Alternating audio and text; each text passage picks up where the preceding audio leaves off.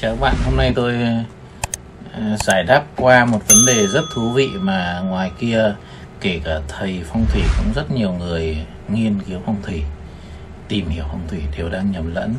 Bạn ấy hỏi là Tây Bắc có sao sơn số 3 và sao hướng số 7 dùng kim tự tháp kim hóa giải ngũ hoàng thì vô tình lại kích cho uh, số 7 thì làm thế nào thầy ơi?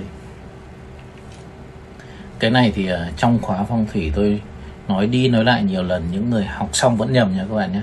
Thế là trong cuốn bí mật trong phong thủy, tôi lại phải viết rất là rõ nữa. Nhưng mà không biết bạn ấy có đọc hay không, tôi chỉ viết là, viết rất rõ trong cuốn bí mật, bạn xem lại nhé. Thì hôm nay tôi trình bày một cái vấn đề rất đơn giản, hy vọng rằng ờ, bạn không học phong thủy, bạn cũng hiểu được.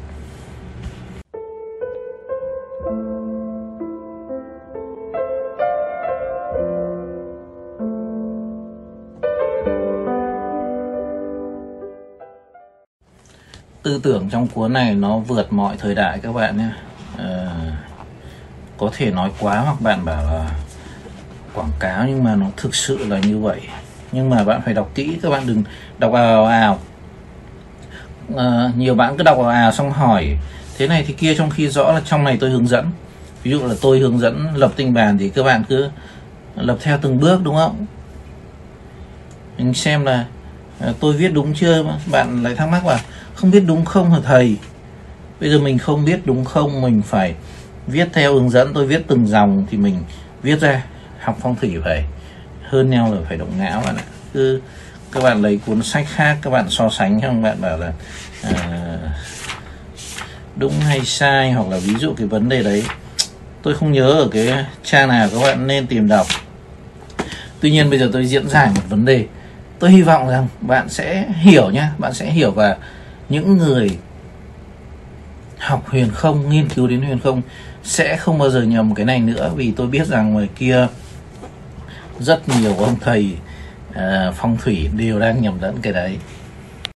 Tôi uh, mô tả một câu hỏi ngây thơ của các bạn nhé vì các bạn cứ lấy sơn với hướng các bạn so sánh ngũ hành. Ừ, tôi nói dâu ông nọ cắm cằm ở kia các bạn không hiểu. Nhiều người học xong huyền không không hiểu. Bây giờ tôi lấy một cái câu chuyện rất đơn giản. Một người vợ ăn một đĩa hai vợ chồng cùng ăn cơm. À, không nói là ăn cơm hai vợ chồng cùng ăn. Người vợ ăn một bát cá một đĩa cá. Người chồng thì à, không ăn cá không ăn thịt. À, ông chồng hôm nay ông ấy à, ăn chay. Ông chỉ ăn đĩa rau. Rồi ông chợ chồng ăn rau. Thì cái câu hỏi trong đầu của các bạn hiện lên. Khi các bạn hỏi câu hỏi đấy thì trong đầu tôi nó hình dung diễn giải như thế này. Dông nọ cắm cằm ở kia, bây giờ tôi mô tả đúng câu của các bạn hỏi là như thế này. Là, chồng ăn rau, vợ ăn cá. Vậy câu hỏi đặt ra là, người chồng có hóc xương hay không? Với câu hỏi của các bạn y hệt như vậy. Y hệt như vậy các bạn. Tức là hai thứ nó không dây mơ dễ mà với nhau. Các bạn lắp ghép vào nhau, kết nối với nhau thành một cái câu chuyện thành một cái mớ bong bong và các bạn cứ hỏi khắp nơi. Và các bạn thấy rằng phong thủy ô khó quá. Nhưng mà khi tôi diễn giải ra này, tôi không biết các bạn đã dễ hiểu chưa người vợ ăn cá người chồng ăn rau. Vậy người chồng có hóc xương hay không? Câu hỏi của các bạn về huyền không, nó y hệt như vậy. Các bạn có thấy buồn cười không?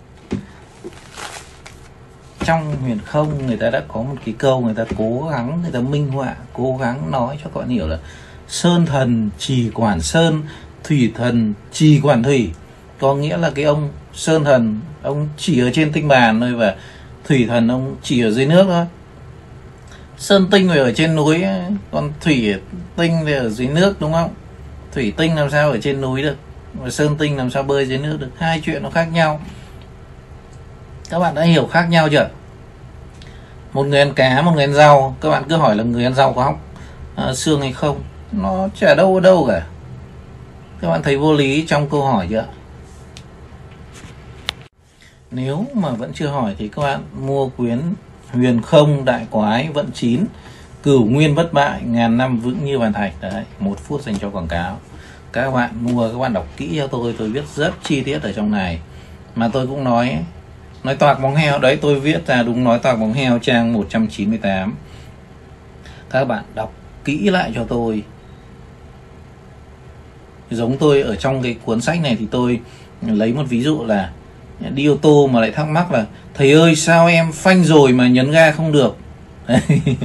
Còn hôm nay thì tôi lấy cái ví dụ là một người ăn cá một người ăn rau. Hy vọng là các bạn hiểu ra vấn đề kinh điển trong huyền không mà hàng ngàn năm qua các thầy bà ngoài kia vẫn nhầm lẫn và rất nhiều người học phong thủy vẫn cứ hỏi đi, hỏi lại câu câu hỏi nó như vậy các bạn.